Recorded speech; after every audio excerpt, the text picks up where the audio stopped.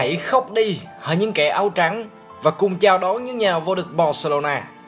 Những lời phát biểu dũng dạc trên được phát ra từ chính miệng của Luis Figo trong buổi mừng công được tổ chức tại cung điện xứ Catalonia, Plaza San Jose. Barca ngoạn mục giành được cú đúp danh hiệu La Liga và cúp nhà vua chỉ trong 11 ngày cuối tháng 4 năm 98. Lễ đăng quang của Barcelona được mở đầu bằng màn reo hò của ngôi sao được yêu mến nhất. Anh là đội trưởng và bây giờ anh là kẻ nắm trọn quyền lực thể thao của cả nơi đây. Sau Johan Cruyff, với tài năng và những gì đã cống hiến cho đội chủ sân Camp Nou, Figo được xem như là một người bảo trợ kế vị của Thánh Johan.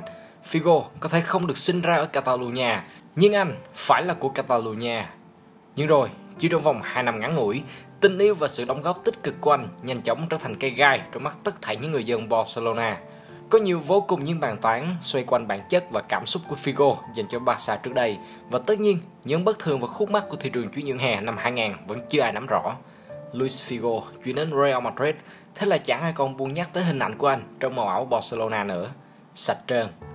Nhớ về Luis Figo, người ta chỉ nhớ về cầu thủ người Bồ Đào Nha trong bộ trang phục trắng của Madrid. Santiago Bernabeu, nên những lời mà chính anh thốt ra là nơi mà tôi trân trọng nhất trong cả sự nghiệp. Đến Real Madrid, Figo lập tức trở thành mắt xích quan trọng trong đội hình Los Blancos 1.0 của chủ tịch Florentino Perez. Trong khi trước đó chỉ một năm, anh là ông hoàng tại Camp Nou. Nếu không phủ phàng quay lưng, Luis Figo hoàn toàn có thể được người dân Catalonia phòng thánh giống như Johan Cruyff. Thành tích của Figo tại Camp Nou sau 5 năm bị phủ nhận sạch sẽ. Anh ra đi đã đành, nhưng lại chọn màu áo trắng của đại kình địch thủ đô. Điều đó thực sự quá sức chịu đựng với tất cả. Cái tên Luis Figo chưa bao giờ giảm sức nóng từ Barca. Đối với những người yêu em Blaugrana, dành chút tình cảm cho anh sau ngần ấy năm dường như với họ vẫn là quá khó. Figo phản bội tình yêu của họ và điều đó sẽ mãi mãi không bao giờ được tha thứ.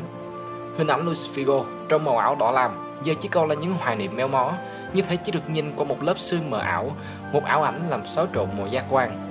Dù Luis Figo không phải là trường hợp duy nhất chuyển đến Madrid từ Barcelona, đặc biệt có thể kể đến Marco Laurent, nhưng suy cho cùng, Laurent bằng cách nào đó vẫn thuộc về Catalonia nhiều hơn là màu áo trắng.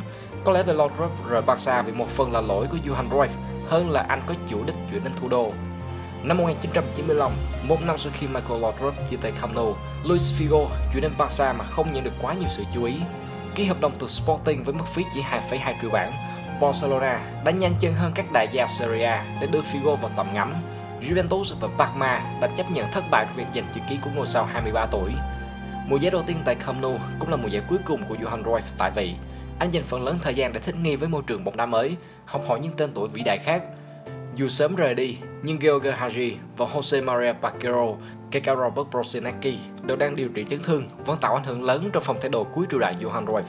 Cái đích thứ ba tại La Liga, thua Atletico Madrid không hài ở chung kết cúp nhà vua và thua Bayern Munich ở bán kết Champions League. Johan Cruyff quyết định nói lời chia tay với Barca. Đó là cái kết giữa những mâu thuẫn dai dẳng giữa huấn luyện viên và chủ tịch câu lạc bộ. Hậu triều đại Johan, Luis Figo nổi lên nhanh chóng trong những người thuộc thế hệ cũ dần bị đào thải. Nói không quá, mùa giải 95-96 là thành công của riêng Figo.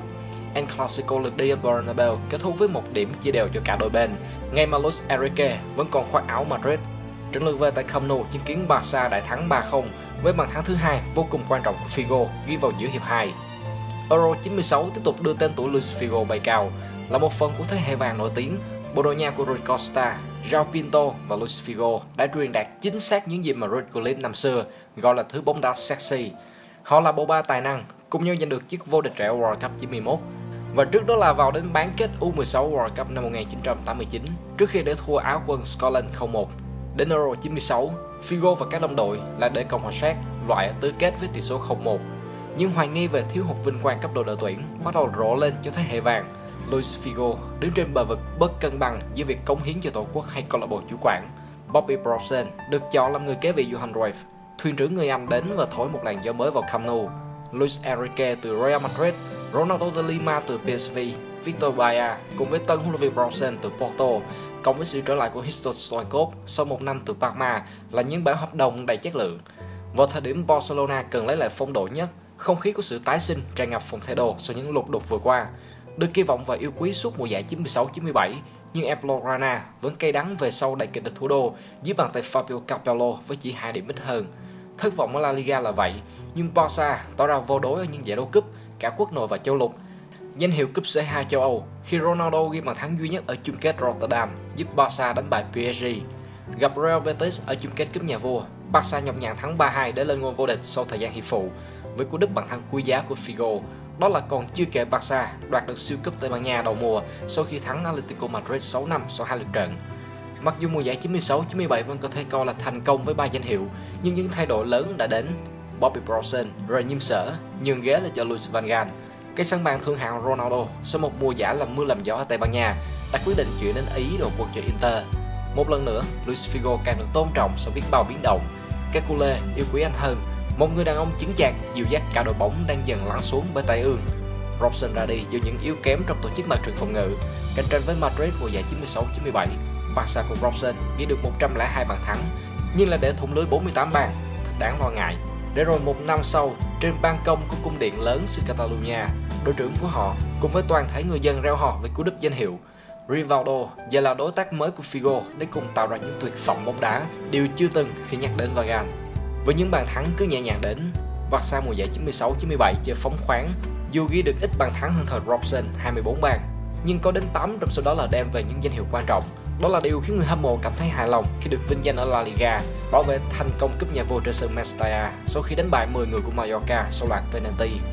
Quyền lực và mâu thuẫn lại bủa về Camp Nou. Suốt bao giờ lịch sử trăm năm, Barcelona giành được biết bao danh hiệu quốc nội. Hệ thống lãnh đạo lại đặt kỳ vọng vào danh hiệu cúp C1 châu Âu. Trận chung kết năm đó được tổ chức ngay tại chính Camp Nou, thế mà Barca bị loại ngay từ vòng bảng. Về phía Figo, chứng kiến đội tuyển Bồ Đào Nha không thể giành vé dự World Cup 98, liền mơ hồ về sự thiếu uy tín của mình. Các culé vẫn tôn sùng anh, nhưng Figo vẫn bị các nhà tuyển dụng đánh giá không cao. Anh muốn mình phải thật sự trên đỉnh, anh muốn người ta phải công nhận rộng rãi tài năng của mình và Luis Figo đã bóng gió về việc rời đi với ban lãnh đạo Barcelona ngay mùa hè 99, nhưng rồi anh vẫn ở lại. Mùa giải cuối cùng của Figo Camp Nou lại là một cuộc nội chiến khác mà chính anh là tâm điểm. Luis Van Gaal xây dựng một đội hình đa sắc tộc và sự chia rẽ dần xuất hiện. Rose Habs, Michael Reisiger, anh em Frank và Ronaldo Boer, Philip Koku, Bodoin Zidane, Winston Bogarde và Patrick Kluivert liên tục đến suốt 12 tháng đầu tiên của Van Gaal. Nhưng tranh cãi bùng nổ khi Rivaldo và Tulip Thép không thống nhất được vị trí hiệu quả nhất của cầu thủ người Brazil. Mùa giải 99-2000, Luis Figo lại khiến căng thẳng nội bộ dâng cao. Ở La Liga, Barca không thể gạt bỏ hận thù cá nhân và ngắm ngôi nhìn Deportivo La Coruña đăng quang lần đầu tiên. Tuy vậy, ở đấu trường C1, họ vẫn vào đến bán kết, có thể coi như là thành công. Bản chất nỗ lực cố gắng nằm ở sự đồng lòng trong những thời điểm không khó. Tứ kết C1 năm đó, sau khi thua Chelsea một ván lượt đi, Barcelona xuất sắc lội ngược dòng 5-1 ở trận lượt về tại Camp Nou. Luis Figo là nhân vật chính ở tứ kết với hai bàn thắng, nhưng anh phải chịu thiệt thòi sau khi lãnh đủ số thẻ vàng và những án treo giò ở trận bán kết lượt đi. Bán kết Mestalla được cho là thời điểm khiến tương lai của Figo chuyển hướng. Từ khán đài, anh nhìn các đồng đội của mình bị đánh bại thảm hại. Đội bóng của Hector Cooper khiến em khổ sở. 4-1 là ngọn núi bất khả thi để trèo qua. Thế là trận chung kết El Clasico trong mơ đã đóng sập lại. Tuy nhiên một lần nữa, Figo mang đến niềm hy vọng cho toàn thể các culé cho trận lượt về tại Camp Nou. Nhưng Valencia không phải là Chelsea. Dù thắng 2-1, nhưng Barca vẫn phải chịu thua với tổng tỷ số 3 năm. Đó cũng là lần cuối cùng cầu thủ người Bồ Đào Nha bước vào Camp Nou với tư cách là một cầu thủ của Barca. Euro 2000, Luis Figo đưa Bồ Đào Nha lọt vào đến bán kết, nhưng tâm điểm mùa hè của anh không chỉ dừng ở đó. Cơn địa chấn đến từ Madrid, Florentino Perez bất ngờ thắng cử chức chủ tịch ngay lập tức, ông thực hiện lời hứa của mình trong lúc vận động cử tri, mua Luis Figo. 27 tuổi và đỉnh cao phong độ, điều không thể tưởng tượng nổi đã xảy đến. Luis Figo không chỉ trở thành cầu thủ đắt giá nhất thế giới, anh còn đổi màu áo đỏ lam mà tưởng chừng trong game mới có thành màu áo trắng Madrid. Không chỉ đơn thuần là đổi câu lạc bộ, anh rời bỏ sự yêu thương của cả người dân Catalonia để hướng đến thủ đô, nơi mà quyền lực và sự tập trung chính trị gay gắt. Cứ cho là anh bị gài buộc ra đi, nhưng mấu chốt là đích đến. Người hùng của Barcelona đội trưởng, ông Hoàng Khâm Nô đã ra đi và nơi anh gia nhập là kẻ thù không đội trời chung. Sự thù hận ngút trời, Luis Figo hết cửa trở về Khâm Nô bất kể trong màu áo nào. Đầu lợn, che lọ, băng rôn lăn mạ khắp các khán đài Camp Nou trong trận El Clasico đúng 18 năm về trước. Họ còn yêu cầu ban lãnh đạo kiến nghị UEFA loại bỏ Luis Figo khỏi vị trí người đại diện cho trận chung kết Berlin 2015 giữa Barca và Juventus. Nỗi đau vẫn kéo dài sau gần hai thập kỷ thương vụ động trời của anh diễn ra, là bởi vì Luis Figo vô cùng có ý nghĩa với em Lorana, rằng hành động của anh khiến họ xấu hổ đến mức hình bóng của Luis Figo trong chiếc áo đấu Barca chỉ nằm trong tiềm thức của trí tưởng tượng. Luis Van Gaal tuyên bố ra đi vào năm 2000. Nếu vẫn còn ở lại, Luis Figo chắc chắn là cây đại thụ vững chãi giữa biến động một lần nữa. Nhưng không, lịch sử là lịch sử. anh góp phần khiến cơn bão cát kia lớn hơn gấp nhiều lần và triều đại của tân chủ tịch Juan Gaspar chưa gì đã đổ bể chỉ vì một cái tên, Luis Figo.